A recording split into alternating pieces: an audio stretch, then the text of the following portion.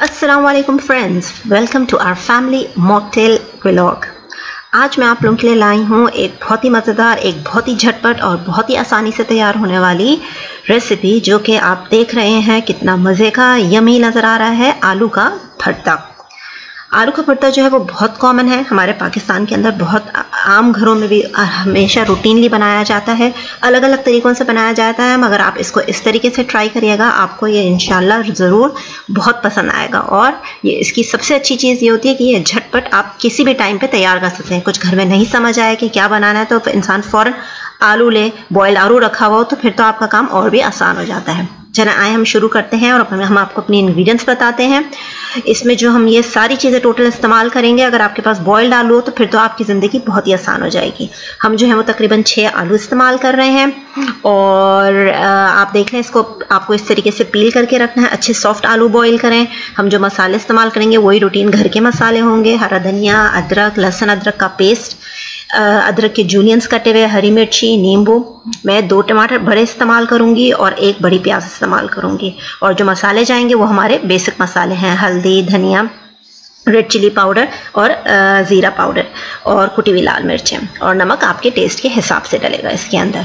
तो आप देख लें, ये हम लोग, अगर आप जो है वो मिर्चें ज़्यादा रखना चाहें तो आप थोड़ी ज़्यादा भी कर सकते हैं, मैं थोड़ी हल्की रखूँगी। हरी मिर्चें जो है वो हम अच्छी तेज़ वाली इस्तेमाल करेंगे, तकरीबन चार से पाँच हरा धनिया, ये जब हम ऊपर टॉप पे गार्निश करेंगे तो आप देखेंगे कि ये हम उस वक्त इस्तेमाल करेंगे लहसुन अदरक का पेस्ट, जो शुरू में हम भुनाई के टाइम पर डालेंगे।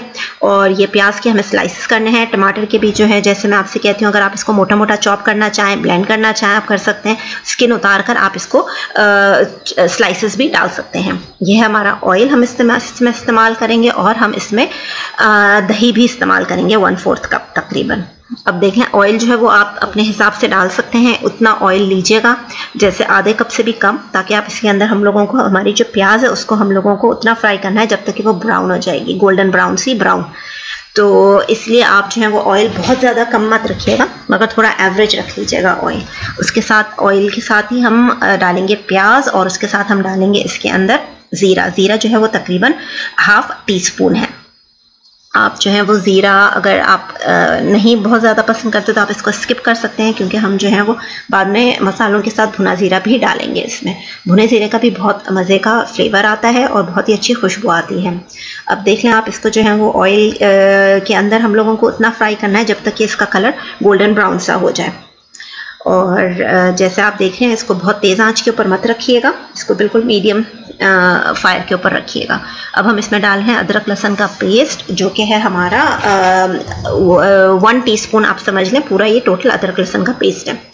तो अदरक, लहसन, जैसे आपको पता है, इसके कितने हेल्थ बेनिफिट्स होते हैं, हमेशा खानों में कोशिश करें इसका इस्तेमाल रखें और हमेशा फ्रेशली पेस्ट बना के यूज़ किया करें। अब हम इसमें डाल रहे हैं धनिया पाउडर, रेड चिली पाउडर, कुटी मिर्चें भुना ज़ीरा, नमक और हल्दी। आप अपने टेस्ट के हिसाब से डाल लें। मैंने जो है वो तकरीबन एक टीस्पून रखा है। आप जो है और हल्दी, उसका हाफ़। तो अगर आप जो है वो रेड चिली पाउडर ज़्यादा डालना चाहें, आप डाल सकते हैं। और कम रखना चाहें तो आप कम भी रख सकते हैं। अब हम इसमें डाल रहे हैं टमाटर। मैं जो हूँ वो पूरा ब्लेंड नहीं कर रही हूँ, क्योंकि मैंने जो है वो स्किन पील ऑफ़ कर दी है तो ये आराम से जो है वो डिज़ोल्व हो जाएगा इसके अंदर। और हमें इसका मसाला क्योंकि बनाना है सारा? अच्छा सा एक मसाला बनाएगा जिसके बाद हम इसके अंदर हमारे बॉइल्ड आलू डालेंगे। तो जैसे हम स्किन निकाल देते हैं तो मैं आपसे बता, आपको बताती हूँ कि ये अच्छे से ब्लेंड हो जाता है मसालों के अंदर और डिजोल्व हो जाता है। आप इसको मोटा सा ब्लेंड करना चाहें वो भी कर सकते हैं ये आपके ऊपर है।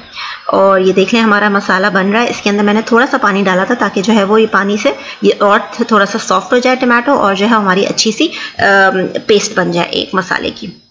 ये देखें, ये कितना अच्छा आपको नज़र आ रहा है कि हमारी प्याज और टमाटर जो है वो ब्लेंड हो चुका है। अब हम इस स्टेज के ऊपर इसमें डाल देंगे दही। बहुत ज़्यादा पानी नहीं डालिएगा और हमेशा याद रखें, एक साथ कभी भी ज़्यादा पानी ना डालें। पानी जो है वो ग्रेजुअली भी ऐड किया जा सकता है। ये देख लें, हमारा जो है वो मसाला बन चुका है। हमारा मसाला ऑलरेडी ऑलमोस्ट भुन चुका है। अब देखें इसमें हम डाल रहे हैं अदरक। अदरक के जूलियंस हम लोग काट के डाल रहे हैं। जैसे आपको पता है, अदरक के भी बहुत हेल्थ बेनिफिट्स होते हैं, खासकर आलू जैसी चीज़, जो कि गैस्ट्राइटिस कराती है। जिन लोगों को गैस के इश्यूज़ वगैरह हों तो उन लोगों को आलू के साथ हमेशा अदरक का इस्तेमाल करना चाहिए। अब हम इसमें जो है वो तकरीबन ये हम लोगों ने तकरीबन हाफ़ कप का भी हाफ़ हमने जो है वो पानी लिया है इसके अंदर। और इसको थोड़ा सा हम पकाएँगे। जब तक कि इसका पानी थोड़ा सा ड्राई हो जाएगा।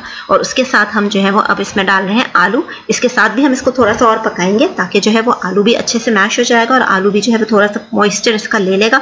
तो हमारा जो भुरता है वो बहुत अच्छा मज़े का एक सॉफ्ट सा टेक्सचर आएगा। ये बिल्कुल भी ड्राई नहीं होता है। आप इसको पराठे के साथ खाएँ, चपाती के साथ खाएँ।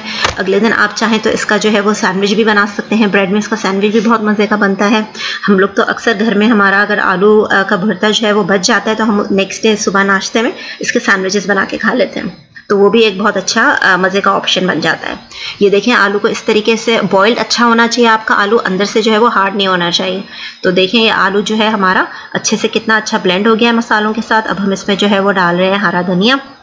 आलू की जैसे मैं बताती हूँ, जिन लोगों को डायबिटीज़ वगैरह हो तो उन लोगों को एहतियात के साथ खाना चाहिए। मना नहीं होता, मगर एहतियात के साथ खाना चाहिए, क्योंकि उसका ग्लाइसेमिक इंडेक्स जो है वो हाई होता है। तो वो जो चीज़ों का हाई होता है, वो आपकी शुगर लेवल को अल्टीमेटली बढ़ाते हैं।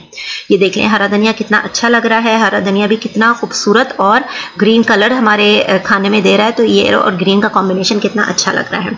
इसके साथ हमने जो है वो दम पर ये हरी मिर्ची भी डाली हैं। आप नहीं डालना चाहें, कम डालना चाहें, अगर आप निकालना चाहें तो आप इसको सॉलिड स्लिट दे के जो है वो मिर्ची रख लें और फिर आप इसको इजीली रिमूव कर सकते हैं। अगर आप ज़्यादा मिर्ची नहीं खाते हैं ये देखें इसको इसके साथ मिक्स करके, ये कितना खूबसूरत हमारा जो है वो बहुत ही मज़ेदार लजीज आलू का भरता तैयार हो चुका है। और इसको जो है वो सर्विंग के टाइम पे या वैसे आप डिश में निकालना चाहें तो आप इसके ऊपर लेमन स्क्वीज़ करके खाएँ। बहुत मज़े का लगता है, चाट मसाला भी डाला जा सकता है। मैं जो हूँ वो कभी कभार इसमें जो है वो ब्राउन प्याज का भगार भी कर देती हूँ। वो भी बहुत मज़े का लगता है। या फिर अगर आप खाली ब्राउन प्याज ऊपर डालना चाहें गार्निश करके सर्व करें। और इसका मुझे ज़रूर कमेंट में बताइएगा आपको कैसा लगा। Thank you very much for watching